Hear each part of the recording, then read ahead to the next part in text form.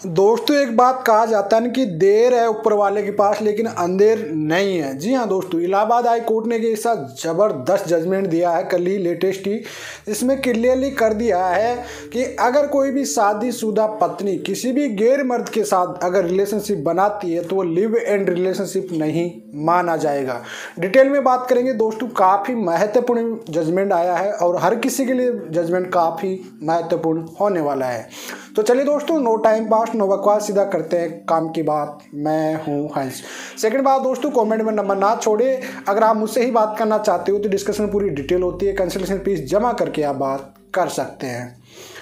दोस्तों, होता क्या है कि आजकल क्या होता है, पति और पत्नी होते हैं। कोई भी छोटी बड़ी बात होती तो अपने प्रेमी के साथ लिव इन रिलेशनशिप में ए पति और पत्नी की तरह रहने लग जाते हैं। इलाहाबाद हाई कोर्ट ने क्लियरली कर दिया है, अगर कोई भी पत्नी किसी भी गैर मर्द के साथ शादीशुदा बिना तलाक लिए अगर संबंध बना रही है तो आईपीसी चार सौ चौरानवे की अपराधी मानी जाएगी, जिसमें सात साल की सजा है।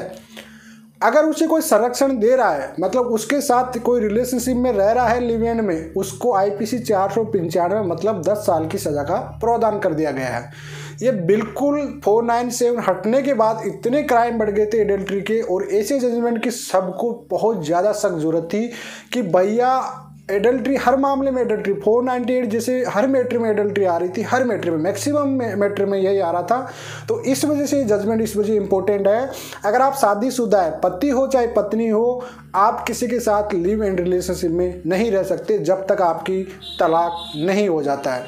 अगर आप रहते हो तो फिर भैया ये 494 और 495 मतलब जो रह रही है पत्नी या पति, उसको भी सजा, जिसके साथ रह रही है, उनको भी सजा, दोनों को ही सजा होने वाली है। जी हाँ दोस्तों, दूसरी बात, अगर कोई धर्म परिवर्तन करा के भी इस तरह की कोई घटना कर रहा है, मान लीजिए कोई पत्नी हिंदू धर्म की या उसे मुस्लिम धर्म बना के कोई लिवियन में रह रहा है साधु शादीशुदा को तो उस सिचुएशन में भी आपको 10 साल तक की सजा का प्रावधान कर दिया गया है। जी हाँ दोस्तों सेकंड टॉपिक एक और इंटरेस्टिंग बात, अगर आप किसी एक के साथ लिव इन रिलेशनशिप में रह रहे हो तो उसके सिवा दूसरे के साथ कभी नहीं रह सकते। जी हाँ अगर आपकी कोई भी प्रेमिका है तो एक प्रेमिका के होते हुए आप दूसरी प्रेमिका नहीं रख सकते। क्लियर है? अगर आपके एक बॉयफ्रेंड है तो आप उसी के साथ रहिए। अगर आप किसी और के साथ रह रहे हो तो भैया ये भी एक अपराध की कैटेगरी में क्लियर हो चुका है।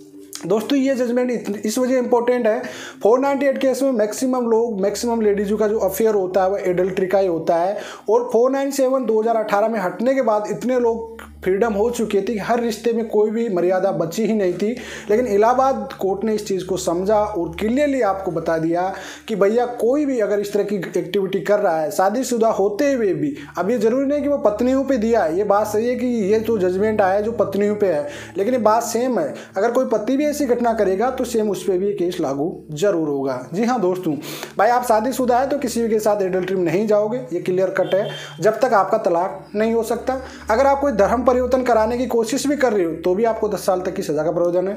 अगर आप जिसके साथ जा रहे हो, उसको भी सजा है, क्योंकि संरक्षण देना, किसी अपराधी को आप संरक्षण दे रहे हो तो उस सिचुएशन में उसको भी सजा है, उसको दस साल तक की सजा है। जी हाँ जो लिव इन रिलेशनशिप में रहने जाएगा, बिना तलाक लिए उसको दस साल की सजा का प्रावधान है। सेकेंड बात, अगर आप किसी के एक के साथ लिव इन रिलेशनशिप में रह रहे हो, पहले से ऑलरेडी आप अनमेरिड कपल हो, लेकिन लिव इन में किसी के साथ रह रहे हो, और उसके बाद उस पार्टनर को आप चीट कर रहे हो तो फिर भी आपको वही दस साल की सजा मतलब आप एक ही गर्लफ्रेंड एक ही बॉयफ्रेंड रख सकते हो क्लियर कट बात है। सेकेंड ऑप्शन आपके पास बिल्कुल इलाहाबाद हाईकोर्ट ने बंद कर दिया है दोस्तों। जी हाँ दोस्तों तो आई होप दोस्तों ये जजमेंट काफ़ी इंपॉर्टेंट रहे होगा आपके लिए, सभी के लिए काफ़ी इंपॉर्टेंट है। इसकी जो कटिंग है जजमेंट की कॉपी मैं पीडीएफ इसी लिंक में डाल दूँगा, लेकिन अभी जो कटिंग है न्यूज़ की, कली या लेटेस्टिंग न्यूज़ में बहुत अच्छे समझा गया। मैं मेरे फेसबुक पेज पे डाल दूँगा, आप वहाँ से इसे रीड कर सकते हैं लिंक आपको डिस्कशन में मिल जाएगा। तो चलिए दोस्तों, आज के लिए इतना ही। जय हिंद, वंदे मातरम दोस्तों।